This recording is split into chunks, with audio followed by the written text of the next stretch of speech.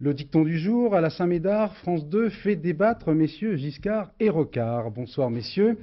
Euh, est-ce qu'il n'y a pas, euh, avant de parler du fond des dossiers, un petit peu une erreur de casting? Vous, monsieur Giscard d'Estaing, on a l'impression que vous piaffez de ne pas mener une campagne qui piétine un peu. Et vous, monsieur Rocard, on se demande certains soirs si vous n'avez pas le regret d'être monté dans cette galère.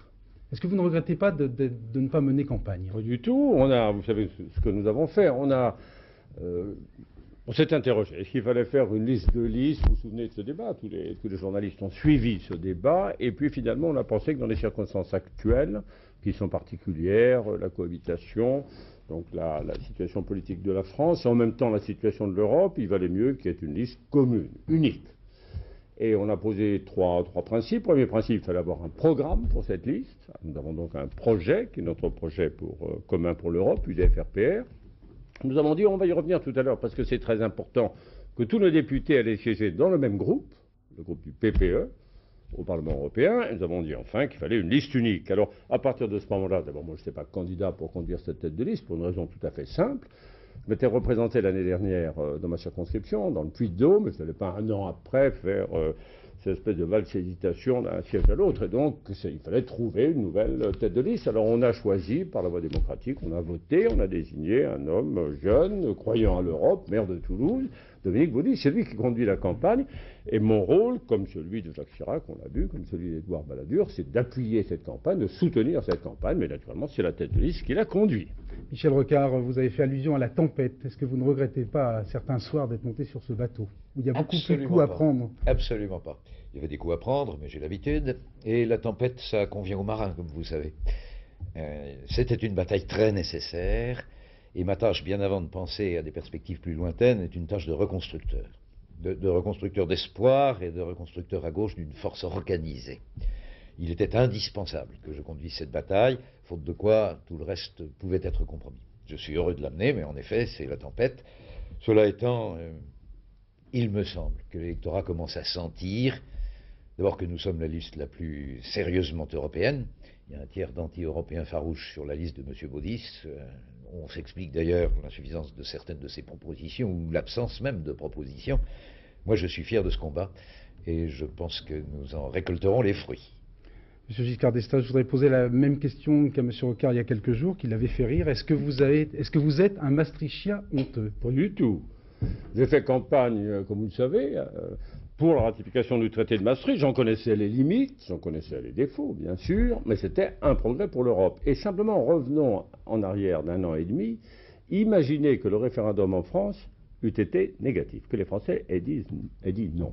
L'Europe serait par terre nous sommes en train de commémorer, on en parlera peut-être tout à l'heure, le 50e anniversaire du débarquement, c'est-à-dire de la guerre. Pour des jeunes gens de ma génération, c'est très émouvant. Bon, les autres, ils n'ont pas connu ça. Moi, je me suis réveillé un matin, on a dit, euh, les Alliés ont débarqué, c'est formidable. Ça. Bon, et c'est des souvenirs très forts. Imaginez qu'on commémore le débarquement euh, et qu'on dise un an après, l'Europe, elle est par terre. Nous avons voté non à Maastricht, il n'y a plus l'Europe. Imaginez ce que seraient cette année les rencontres franco-allemandes, le climat de notre continent. Donc, en effet, je ne suis pas du tout un Maastrichtien honteux. Par contre, je vous dirai tout à l'heure, et j'en ferai d'ailleurs le reproche à Michel Rocard sur quelques points, je considère que ce qu'on a fait au cours des dernières années a comporté des fautes en Europe, et je crois qu'il faut continuer différemment le progrès de l'Europe. Alors, euh, certains de vos adversaires, notamment M. Le Pen, disent dans les meetings euh, la liste Baudis, la liste Rocard, c'est blanc-bonnet et bonnet blanc. Alors, c'est peut-être l'occasion ce soir de voir ce qui vous sépare vraiment, et notamment en, matière, en matière d'emploi. Parce que les sondages montrent que s'il y a bien un domaine où les Français ont le sentiment que l'Europe n'a pas vraiment fonctionné, c'est sur l'emploi. Alors, je voudrais vous poser très simplement la question, et très concrètement, vous, ne pas, vous ne siégerez pas à Strasbourg, mais qu'est-ce que peut faire très concrètement le Parlement de Strasbourg pour débloquer la situation? D'abord, je crois qu'il faut évacuer cette histoire de bonnet blanc et de blanc bonnet. C'est un point sur lequel je suis d'accord. Ah Il y a de grandes différences entre ces deux. Naturellement, on va les voir.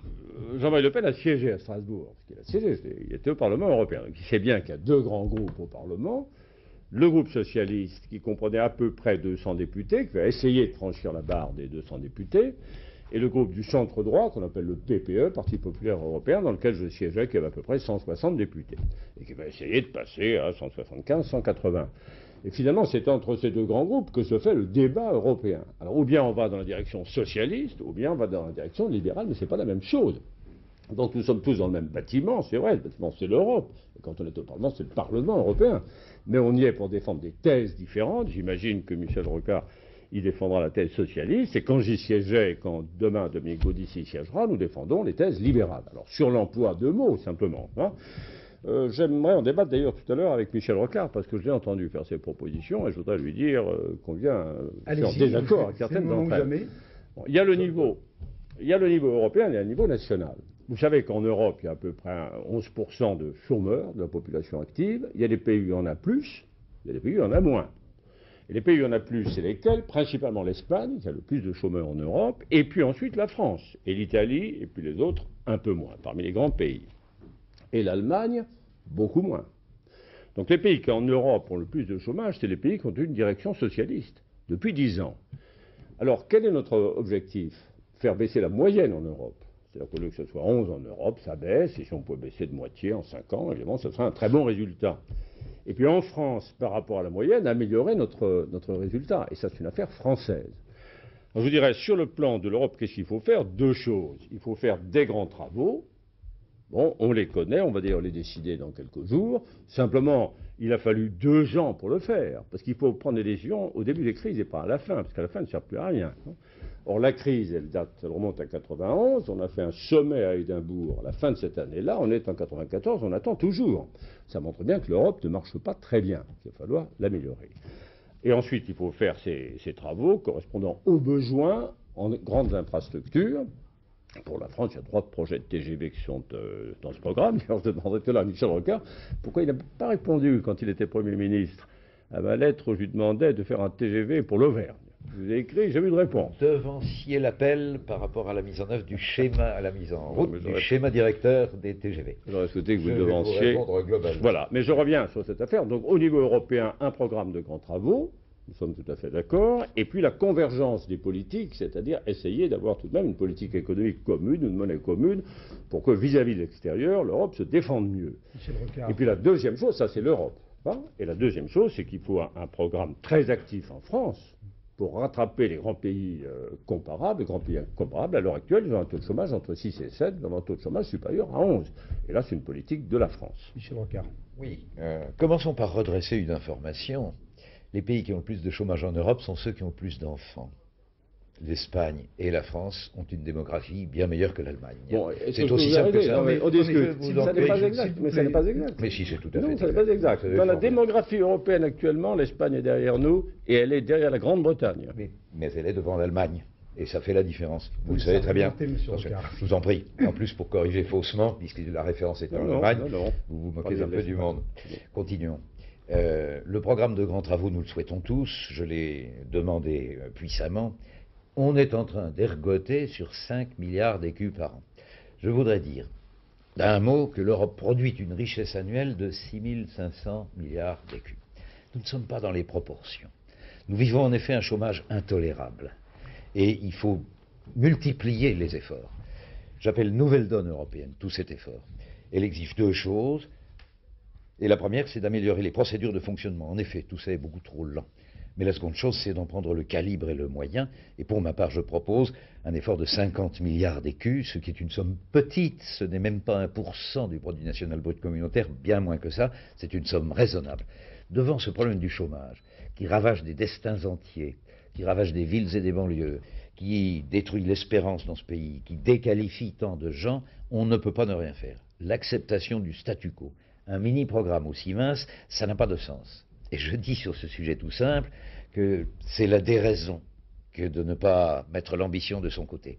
La raison veut qu'on donne priorité à cette lutte contre le chômage. Et puis il y a un problème de plus. Comment on finance? Vous n'avez jamais dit. Je suis d'accord, moi, pour que l'Europe prenne le risque d'un emprunt euh, permettant de financer en partie ces, chantiers, ces grands travaux, auxquels d'ailleurs je veux ajouter pas seulement les infrastructures, mais la réhabilitation générale de beaucoup des banlieues en Europe.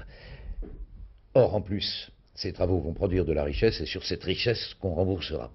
Donc notre dispositif est clair et nous sommes très choqués, je suis très choqué de ce qu'il y a deux jours, le Conseil des ministres ait encore réduit le volume de l'initiative européenne de croissance. Car je signale que cette idée initialement, c'est une idée de Jacques Delors, qui se trouvent être des nôtres, nous pensons bien dans le même sens.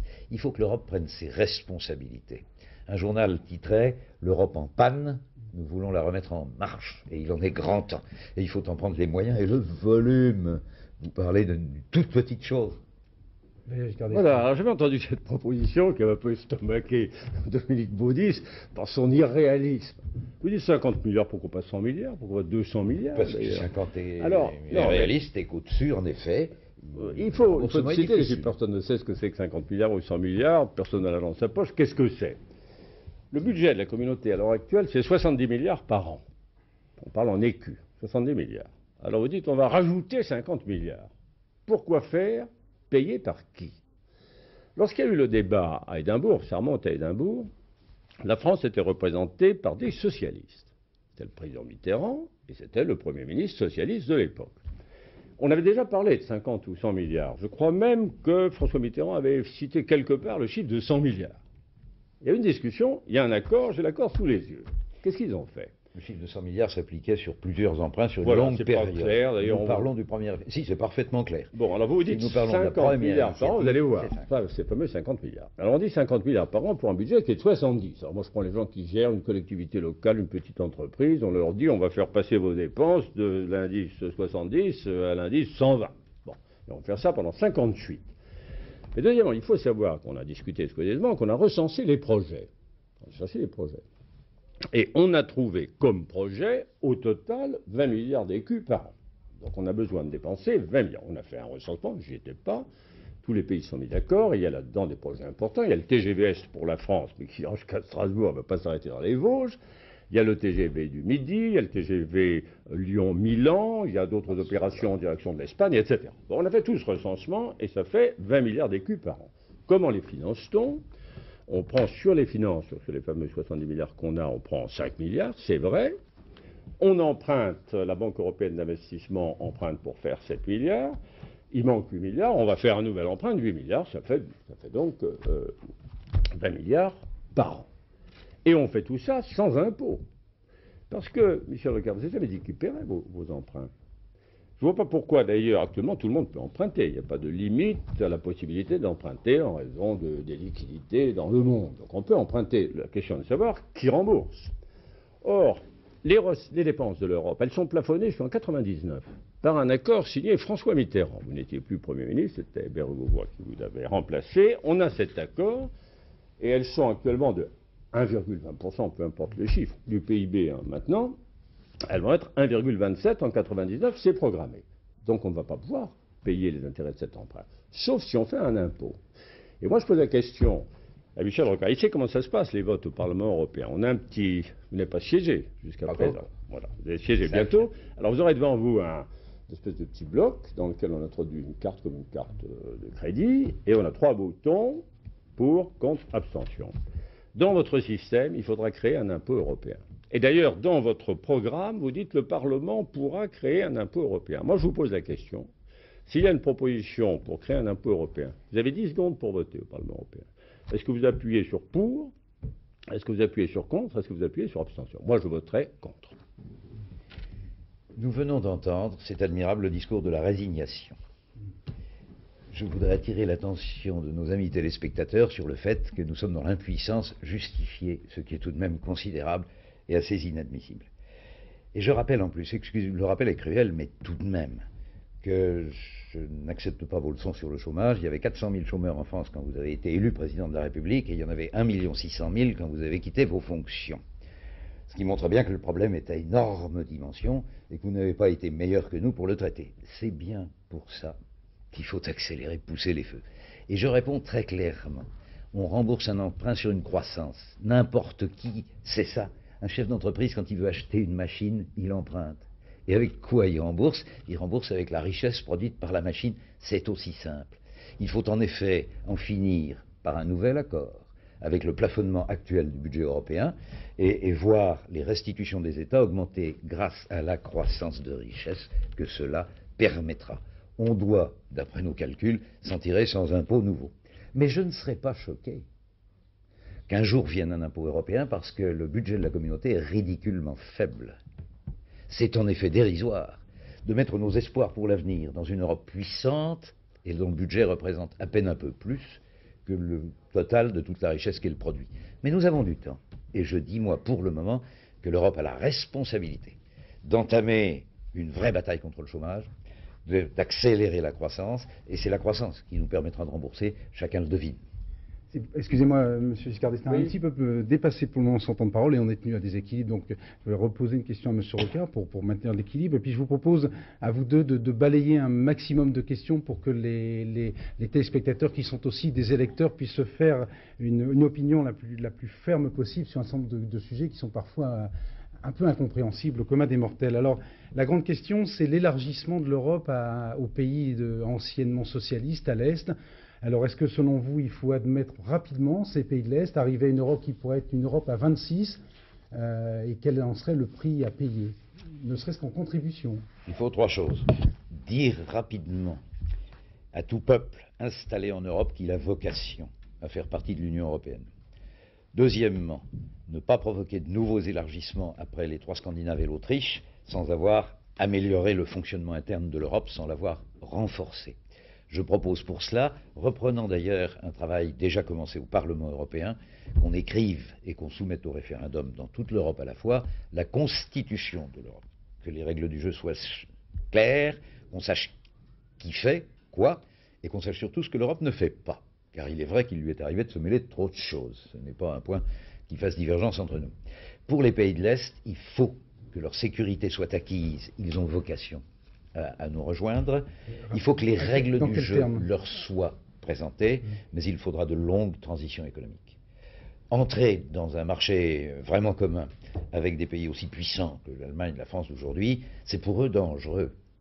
Et dès que le principe sera acquis, eux-mêmes demanderont de longues transitions. Mais l'Europe a vocation à rassembler tout le monde, prenons-nous-y bien. Pour le moment, mettons de l'ordre dans les affaires européennes. Monsieur Giscard d'Estaing, quel terme on pourrait voir Vous me permettez une phrase de plus? J'ai été un chaud partisan de l'adhésion de la Suède, de la Norvège, de l'Autriche et de la Finlande. Les quatre pays d'Europe qui ont été longtemps, et deux d'entre eux le sont toujours, sous direction socialiste, où il y a le moins de chômage, encore un autre démenti de votre réflexion de tout à l'heure, et où il y a la meilleure protection sociale. C'est avec ceux-là que l'Europe sociale sera tirée par le haut, et c'est avec leur volonté, car ils arrivent pour participer à une Europe puissante, Sinon, ils sont déjà dans vous, une Vous êtes contre la ratification de, ces quatre nouveaux pays bon. Alors d'abord, on a entendu tout à l'heure, bon, on a entendu tout à l'heure, Michel Rocard annonçait un impôt européen, c'est une manie, on a fait des impôts en France. Je ne pense pas qu'il soit nécessaire, ne me faites pas dire ce que je n'ai pas dit.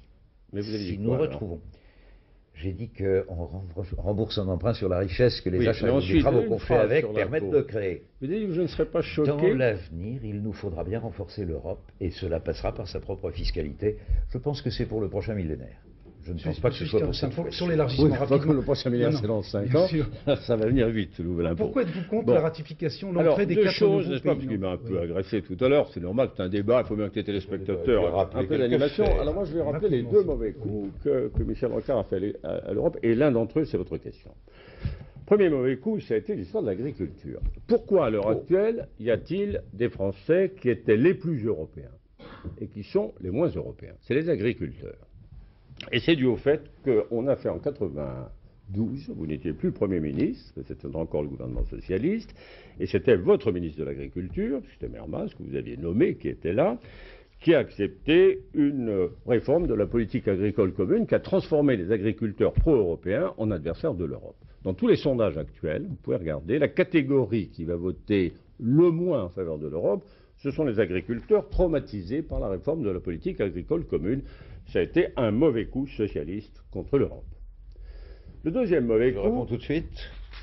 Oui, ce sera pour la carte du débat. Cette manière de voir les choses n'est pas admissible. Depuis que la politique agricole commune existe, les États-Unis la combattent et essayent de la démolir. Ils ont fait une, une énorme pression pour inclure l'agriculture dans des négociations qui, qui, visaient à mettre un terme à la protection que la politique agricole commune apportait à nos agriculteurs. Et il fallait mener combat, nous l'avons fait, pour éviter que l'agriculture ne soit traitée comme les autres secteurs dans ces négociations dites du GATT. Il y fallait une négociation spéciale. La concession dramatique qui a provoqué tout le reste, elle est de la fin de l'année 1986 sous l'autorité de M. Jacques Chirac, votre ami. C'est depuis qu'on a été coincé et que la réforme de la PAC, qui en effet n'est pas parfaite, mais qui ne mérite pas ce que vous en dites, parce qu'elle a été en plus compromise par l'accord de Blair House, sur lequel nous avons, nous, censuré la Commission. Cette réforme, elle résulte de la pression qui vient de là. Et la faute initiale, elle est là. En plus, j'ajoute qu'il fallait en effet corriger la mauvaise négociation de la communauté, de la Commission à Blair House, négociation euh, où la Commission a outrepassé ses pouvoirs, j'en suis euh, convaincu. Pas convaincu. Nous n'avons pas type d'argumentation passe un Non, petit peu au-dessus de la tête des. Mais moi, j'ai une lettre du ministre je de l'Agriculture, monsieur Louis Mermaz, que j'ai toujours sur mon bureau en Auvergne, parce que moi, sur Auvergne, je garde les papiers, alors je regarde ça. Et dans cette lettre, il y a cette phrase qui m'a laissé quand même rêveur. C'est daté du 22 mai 92. Il dit, je vous transmets une note sur l'accord intervenu sur la réforme de la politique agricole commune. Il ne parle pas de Blair House ou de sais quoi. Il dit, cette réforme est très positive pour l'agriculture française et européenne. Va aller dire ça aux agriculteurs. Ils étaient pour l'Europe, ils sont contre l'Europe. Mauvais coup pour l'Europe. Deuxième mauvais coup pour l'Europe, c'est ce que vous venez de dire à propos de l'élargissement. Vous avez dit, moi je suis pour l'entrée des quatre Scandinaves. D'abord ce sont les socialistes, les socialistes les autres on verra plus tard. Et vous dites dans un interview aux échos, d'ailleurs moi j'ai donné une interview le lendemain, nous nous suivons dans ces journaux, C'est bien vous normal. dites, je suis partisan d'une extension du vote à la majorité. Et oui. Et je l'ai dit à mes amis norvégiens, suédois, finlandais, autrichiens. Bon. Ces quatre pays vont entrer. Ces quatre pays vont entrer, heureusement. La France a combien de droits de vote? La France n'a pas tout à fait le quart des droits de vote. Non, non, un quart de droits de vote. Qu'est-ce que c'est que cette histoire? Il y a un barème de droits de vote quand on vote. Vous avez été Premier ministre, et quand on vote, on, a- on vote avec un nombre de voix. La France a combien de voix au Conseil Je européen ne suis pas ici votre élève. Ne Non, non, mais ça, c'est un coup que m'a je fait Mitterrand je- Non, non, je c'est- vous en prie. C'est vous qui êtes candidat, c'est pas moi en plus. Les quatre grandes nations européennes, France, Allemagne, Angleterre, Italie, aujourd'hui ensemble, ont la majorité. Bien sûr, Non, non, pas du elle tout. va être préservée. Pas du tout. Non, mais c'est très important. euh, C'est très important. Moi, je dis ça aux Français qui sont pas. Je leur fais pas passer excusez-moi, Aux Français, je ne suis même pas candidat. Bon. Nous avons dix voix. Quand vous êtes au Conseil des ministres et qu'on dit un projet a été adopté, vous savez, la majorité simple, la majorité qualifiée. On compte les voix par pays. La France a dix voix. voix. Bon, elle a dix voix. Les quatre pays qui vont entrer, ils ont une population qui est moitié moins de la nôtre. Ils font au total 44% de notre population. Ils vont avoir combien de voix, M. Rocard? Deux voix chacune. Non, ils vont avoir 14 voix.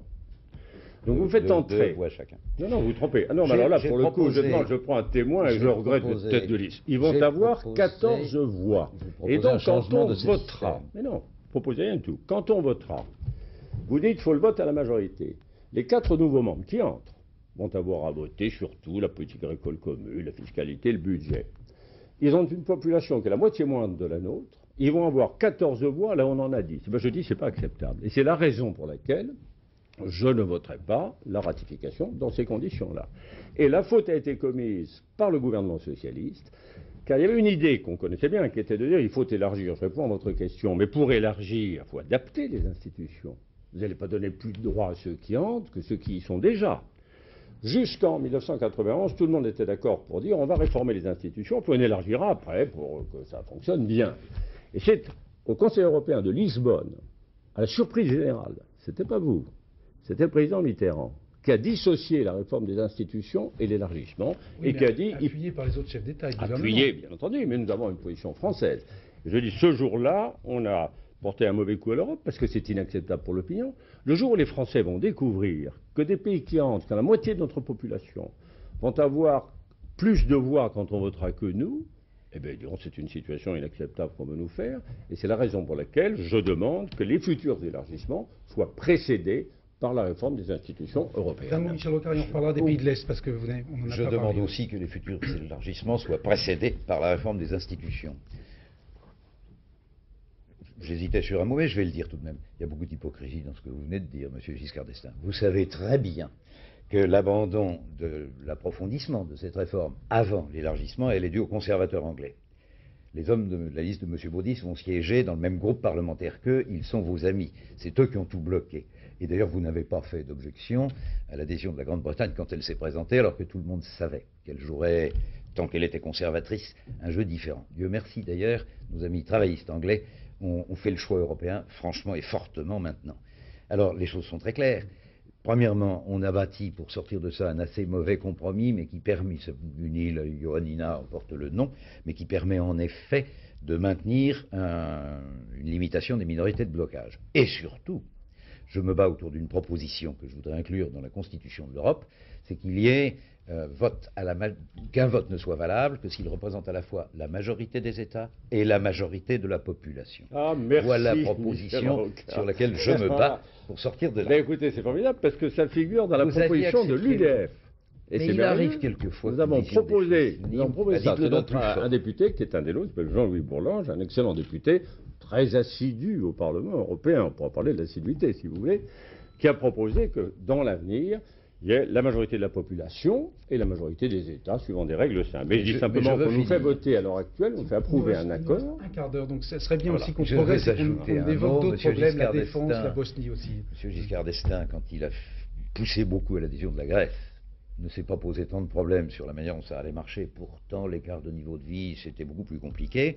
Il a accepté l'arrivée de la Grande-Bretagne sans mettre de conditions de procédure ni d'approfondissement des règles, et il ne devient hostile qu'au moment où arrive des pays à faible chômage, à forte protection sociale, et dont la direction a été souvent social-démocrate. L'argument, l'argument c'est qu'il arrive des petits pays et que ces petits pays profitent de la situation qu'on a à l'origine pour leur donner un poids beaucoup plus important que le nôtre, et je dis que ça n'est pas raisonnable pour les Français, que le jour où les Français vont découvrir qu'ils ont plus de poids que nous, avec une population moitié moindre, vous verrez la réaction de l'opinion publique, et je la comprends. Je, repose la question, on, va essayer de faire un tour d'horizon le plus vaste possible. Sur l'arrivée éventuelle des, anciens pays de l'Est, euh, est-ce que vous êtes favorable au principe? Dans quel délai et à quelles conditions? Rapidement, si Vraiment rapidement, mais c'est un gros problème. Nous avons, nous avons, deux tâches. Pour moi, la tâche prioritaire, parce que sinon cette affaire va capoter, vous comprendre ça. La tâche prioritaire, c'est d'achever l'organisation de l'Union européenne.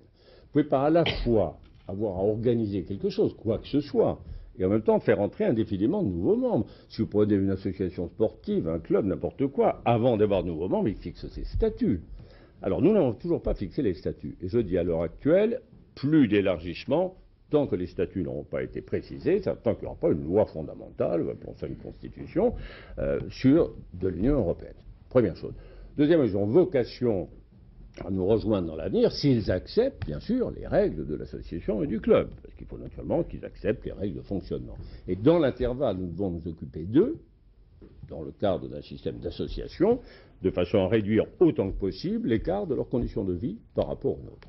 Donc priorité, achever l'organisation, c'est-à-dire l'Union de l'Europe, tant qu'on n'aura pas fait ça, pas de nouveaux élargissements, mais en même temps une politique très active de réduction des écarts de niveau de vie entre eux et nous.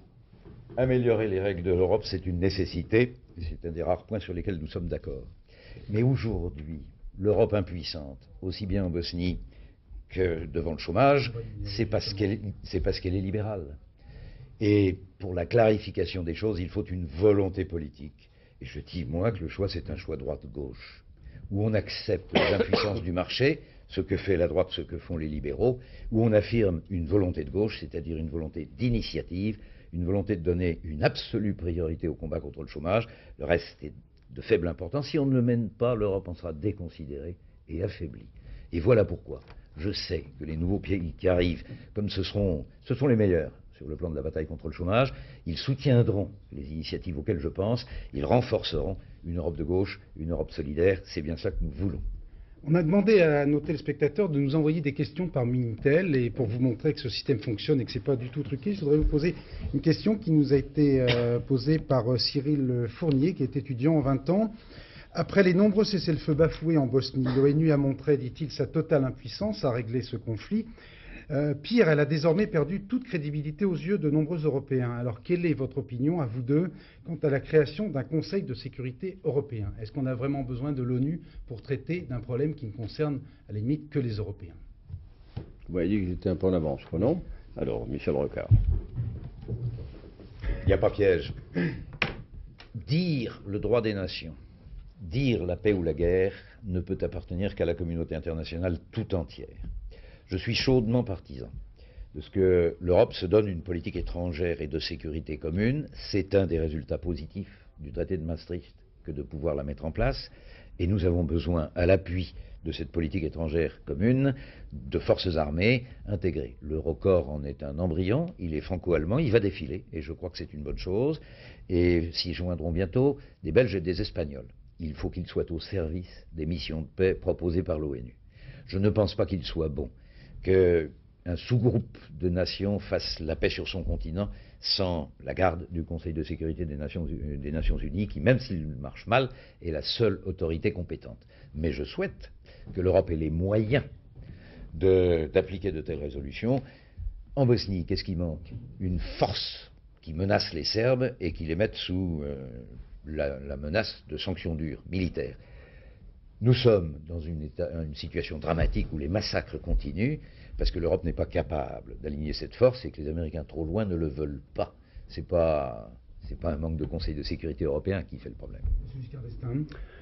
Euh, l'impuissance de l'Europe en Bosnie est une honte totale. Et c'est une honte qui pèse sur nous tous et sur cette élection. Parmi les gens qui n'iront pas voter, il y a des gens qui disent écoutez, bon, on nous demande de voter pour quelque chose qui n'est même pas capable de traiter un problème qui est à nos portes et dont nous voyons les affreuses euh, conséquences. Donc c'est une honte. Euh, comme l'a dit d'ailleurs là-dessus Michel Rocard, il y a deux niveaux. Il y a le niveau international qui est quand peut-on et sous quelle forme décider d'une intervention militaire à l'extérieur Parce qu'elle est quand même à l'extérieur. Et là, il faut voir qu'on ne peut pas le faire contre l'avis des Russes, qu'on ne peut pas le faire en ignorant l'avis des Américains, que donc s'il doit y avoir une décision, une opération militaire importante, il est normal qu'elle soit débattue au sein du Conseil de sécurité de l'ONU. Même une levée de l'embargo des armes, puisque c'est une décision de l'ONU. Même le, levée de l'embargo. Par contre, alors ce qui est très choquant, c'est qu'à partir du moment où une action est décidée, l'Europe est incapable de la conduire. Elle est incapable de la conduire à deux niveaux. Incapable de la conduire au niveau politique, parce qu'elle ne prend pas des décisions d'action ensemble, et incapable de l'accomplir sur le terrain parce qu'elle n'a pas les moyens militaires, euh, de logistique d'intervenir. Et ça, c'est une situation inacceptable et dangereuse. Parce qu'à l'heure actuelle, elle se présente en Bosnie, qui est un pays de dimension limitée, même si son drame est épouvantable. Mais il peut y avoir à l'est de l'Europe un jour des déstabilisations beaucoup plus grandes. Et on découvrira que l'inexistence de cette capacité de décider et que l'inexistence de ce moyen d'agir représente une menace pour la sécurité de l'Europe. Alors dans ce domaine, il faut bien entendu avancer très vite. Giscard d'Estaing, vous avez fait état dans la presse, vous avez, vous avez dit, si j'ai bien lu, que vous vous interrogiez sur l'opportunité de la présence de l'Eurocorps lors du défilé du 14 juillet. C'est pour des raisons, j'allais dire, sentimentales ou des raisons purement politiques? Écoutez, bon, moi je suis pour la réconciliation franco-allemande. Vous me posez cette question, je vous réponds très franchement. Bon, je ne fais pas de calcul dans cette affaire. Quand j'étais lycéen à Paris, tous les matins, en se réveillant, on entendait les, Allemands, ça m'émeut, qui chantaient sous nos fenêtres. On entendait les pas dans la rue, etc. Jusqu'en 1944. Eh bien, l'idée que l'année où on commémore tout de même euh, ces combats, ces sacrifices, nous allons avoir un défilé sur les Champs-Élysées, ça me fait quelque chose. Malgré que vous soyez un ardent défenseur de la réconciliation franco-allemande. Il y a des lieux pour la réconciliation, il y a des moments pour le souvenir. Michel Je crois qu'il faut savoir concilier la réconciliation et le souvenir. Il ne faut pas oublier que cette Europe que nous défendons, avec des visions différentes mais que nous défendons tous deux, elle est née de la volonté de mettre fin à la guerre et elle est née au lendemain de la guerre à cause de la guerre. Et c'est pour ça que c'est la belle et grande aventure de nos générations. Je ne sais pas ce qui serait passé si nous n'étions pas dans l'Union européenne, avec une France et une Allemagne, ayant au début du conflit yougoslave des politiques étrangères qui ont mis du temps à s'accorder et qui sont partis avec des divergences. Je ne sais pas où nous en serions. Nous devons déjà à l'Europe 50 ans de paix. Et c'est au nom même du refus de la guerre que moi je suis, en fonction même du souvenir, heureux parce que j'ai eu les mêmes émotions. Mon père n'était pas en France. Enfin, le débarquement, c'est une immense affaire. Et, une perquisition allemande au domicile dans ma famille, tout nous avons tous vécu tout cela. Tout cela est affreux. Mais au moins débarrassons-nous-en et incorporons dans le souvenir la nécessité de la réconciliation. Mais je reconnais que là, nous sommes en, sensibilité. Il nous reste un petit peu moins de... C'est l'affaire de nos enfants mm. que d'espérer que la paix soit consolidée. Euh, et nous devons dominer nos souvenirs. Il reste un petit peu moins de 7 minutes et il y a encore un certain nombre de, points qui, qui, seraient bons d'aborder euh, rapidement, parce qu'encore une fois, ce sont des dossiers qui sont quelquefois un petit peu abscons pour les, téléspectateurs. Est-ce que, selon vous, il faut un président pour l'Europe et est-ce que l'Europe doit être un fédéral, c'est-à-dire en gros avoir le, système des, États-Unis? Bon, mais il est évident qu'il faut un président pour l'Europe. Ça fait des années que je le dis. D'ailleurs, on dirait, Giscard a dit ça parce qu'il veut être président de l'Europe. Hein. Pas du tout. C'est parce qu'il est évident qu'il faut un président pour l'Europe. Alors, à ma stupéfaction, il y a quelques jours, Delors a dit la même chose. Jusque-là, on disait c'est une fantaisie de l'imagination. Maintenant, tout le monde y vient. Et, pourquoi? Parce qu'on ne peut pas avoir un ensemble de 340 millions d'habitants qui n'est pas identifié sur la scène internationale, qui ne peut pas s'exprimer de façon continue, régulière. Donc il faut un président. Pour combien de temps? On verra bien. Désigné par qui? Ben, Au début, par le Conseil européen qui choisit dans son sein un président. Donc ça, c'est une chose à faire très vite. Dominique Baudis d'avoir abjuré en quelque sorte sa foi euh, fédéraliste pour rassurer le bon, Là-dessus aussi, moi, je voudrais être très, très clair, pas des histoires incompréhensibles. Quand vous mettez des États ensemble, qui se donnent des institutions, par exemple un Parlement, un Conseil, et que ces institutions peuvent prendre des décisions. Par exemple, il y a un budget européen, il y a des directives, et ainsi de suite. C'est un système de type fédéral. Autrement dit, on fait le fédéralisme sans le dire à l'heure actuelle. La querelle n'est pas sur le fédéralisme. Elle est sur la question de savoir si ça doit être un fédéralisme centralisateur et unificateur comme aux États-Unis, c'est-à-dire qui a pour objet de faire que tout le pays vit à peu près de la même manière, que toutes les grandes décisions sont centralisées, ou si ça doit être un fédéralisme très décentralisé et respectueux des identités et des cultures nationales. Je suis pour cette deuxième forme de fédéralisme. Depuis l'origine, pour une fédération de nations, ce qui correspond à peu près à ce que vous venez de, décrire. J'ai donc moi l'avantage de n'avoir pas eu à renoncer à mes propres convictions. Je suis un peu effrayé des renoncements successifs de M. Baudis. Il a renoncé au fédéralisme tel qu'il le voyait. Il est en train de courir derrière le RPR. Cette liste, un RPR, un UDF, par rapport à la nôtre, qui a eu un homme, une femme, c'est pas le même projet d'avenir. On a l'alternance qu'on peut. Mais en tout cas, ça fait que la liste de M. Baudis comporte un tiers de, militants de la cause anti-européenne. C'est très clair et c'est dramatique. Moi, je maintiens euh, ma ligne et je trouve que dans cette affaire, il y a des orphelins de l'Europe. La vision d'une Europe qui partage vraiment les souverainetés et qui soit efficace, elle est un peu absente dans cette affaire. Et au fond, je me sens en situation d'appeler à tous ceux qui veulent mettre fin à la purification ethnique, que l'Europe se batte contre le chômage et que l'Europe construise son champ social qu'on construise une Europe solidaire pour leur dire vous n'avez plus vraiment qu'une liste. Que là-dedans, l'Europe est un président, ça me paraît nécessaire aussi, c'est une évidence. Mais ça ne règle pas tout le problème institutionnel qui se joue bien davantage sur la clarté des choix politiques. Nous mm. sommes gauche contre droite maintenant. Le temps du combat des Européens contre les nationalistes dans chacun de nos pays, qui a été nécessaire très longtemps pour mettre en place cette Europe contre des volontés nationales, notamment très présentes en France. Ce temps est fini. L'Europe et ses institutions sont en place. Et c'est irréversible. Nous avons maintenant la chance de pouvoir lui donner un axe politique clair. Et en Europe, comme en France, les choix sont différents entre la gauche et la droite. C'est aussi simple que cela. Moi, je veux une Europe debout et une Europe sociale. Nous allons devoir conclure. Est-ce que je voudrais simplement vous demander, M. Giscard d'Estaing, vraiment en une minute, qu'est-ce que vous pouvez dire aux Français qui, justement, vous y faisaient allusion tout à l'heure, n'ont pas envie d'aller voter dimanche? Ben Écoutez, c'est très. D'abord que les choses sont beaucoup plus simples qu'on leur dit. Il y a d'abord le choix que dit Michel Rocard, qui est un choix, en effet, entre une Europe socialiste et une Europe libérale. La France s'est débarrassée du socialisme il y a un an en France. Elle ne va pas le réintroduire en Europe, donc il faut avoir une Europe libérale. Mais surtout, dans les élections, vous avez des élections qui sont pour tout de suite. Les élections cantonales, c'est pour tout de suite. Vous avez des élections qui sont pour le moyen terme, comment le pays va être gouverné. C'est les élections législatives l'année dernière. Puis il y a les élections qui façonnent l'avenir. Alors on peut dire l'avenir c'est loin, on s'en fiche, on verra bien plus tard. Mais finalement, l'avenir, c'est quelque chose qui s'avance comme un grand fleuve. Et puis, euh, si on prend une mauvaise direction, on prend une mauvaise direction. Et moi, je trouve que cette année, où on voit l'horreur du passé de l'Europe, parce qu'au fond c'est ça toutes ces émissions, et où on se dit que peut-être on a la chance d'ouvrir un avenir tout à fait différent pour l'Europe, je crois que ça c'est un très grand enjeu. Et donc moi je demande aux Françaises et aux Français de voter pour la liste du DFRPR pour que l'Europe soit libérale, mais de voter dans cette élection pour que l'Europe puisse être pour le, siècle, dans le siècle prochain un grand continent pacifique, apaisé et moderne. Merci, messieurs. Juste un mot pour conclure. Attendez. Je n'ai pas eu à, Allez-y, vraiment en 20 secondes parce qu'on va devoir rendre l'antenne. D'un mot très rapide. L'Europe a besoin d'être debout. Je représente dans ce combat la seule liste qui ait la même plateforme, la même volonté que 15 autres partis socialistes et sociodémocrates sur l'ensemble de l'Europe. Notre volonté est claire. Nous voulons une Europe solidaire. Euh, et cette chance d'avoir une majorité de gauche au Parlement européen, car c'est possible, il ne faut pas la laisser échapper. C'est grâce à cela qu'enfin nous pourrons nous battre sérieusement contre le chômage. On vient d'avoir une présentation admirable de la résignation devant le chômage. Ce n'est pas notre hypothèse. Nous avons besoin d'une majorité de gauche dans ce Parlement européen. Merci, messieurs. juste une toute dernière question. Est-ce que j'aurai le plaisir de vous retrouver dans un an pour les présidentielles? Vous avez confirmé euh, l'autre fois dans la presse que vous étiez candidat jusqu'au bout. Vous pouvez nous le répéter ce soir Je dirais que les choses sont plus claires dans mon camp que dans celui de M. Giscard d'Estaing. Alors, Monsieur Giscard d'Estaing, vous avez dit l'autre jour chez nos confrères de France 3, je ferai part de mes projets pour la France pour la période 95 et l'an 2000. Et comme par hasard, c'est un quinquennat. Et ça a été interprété, vous le savez bien, parce que vous lisez les journaux, comme une pré-déclaration de candidature. Pas du tout.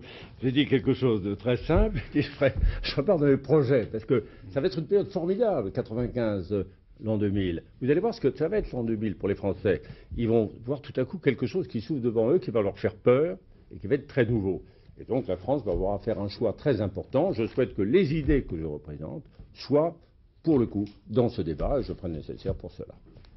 Merci beaucoup, messieurs. Et je rappelle euh, que demain, euh, nous organisons, la rédaction de France 2 organise un grand débat avec euh, les neuf responsables des principales listes engagées aux européennes.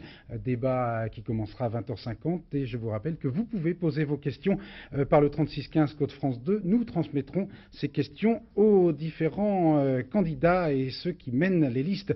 Demain, dans les quatre vérités, à 7h50, Gérard Leclerc recevra Jean-Marie Le Pen, qui est lui aussi candidat. À minuit, dernier journal présenté par euh, Catherine Sellac. Donc demain à 20h, vous retrouverez Étienne Lénart en ce jour de Saint-Médard. Il devrait pleuvoir ce soir et cette nuit. Météo France prévoit en effet des orages localement forts. Météo complète dans quelques instants avec Sophie Davant. Merci encore une fois, messieurs.